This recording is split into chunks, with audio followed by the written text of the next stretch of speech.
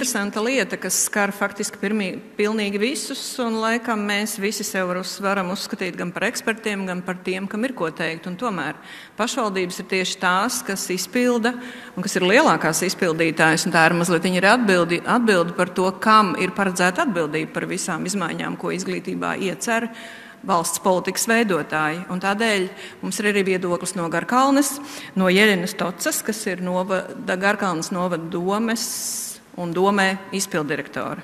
Lūdzu. Дамас и кунги, веси и. Хотела бы пару слов сказать о нашей ситуации в государстве с образованием.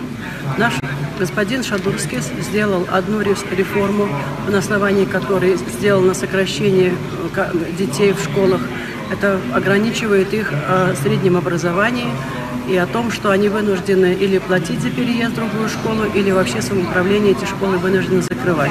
Особенно вторая реформа образования, в которой говорится о переходе обучения на латышский язык. Все неплохо, но абсолютно реформа не подготовлена, нет э, подготовленного персонала, дети и родители тоже не готовы. Я считаю, что наше правительство должно более ответственно подходить ко всем разработанным законам, чтобы они работали на благо народа и государства, а не в отношении какой-то одной конкретной персоны.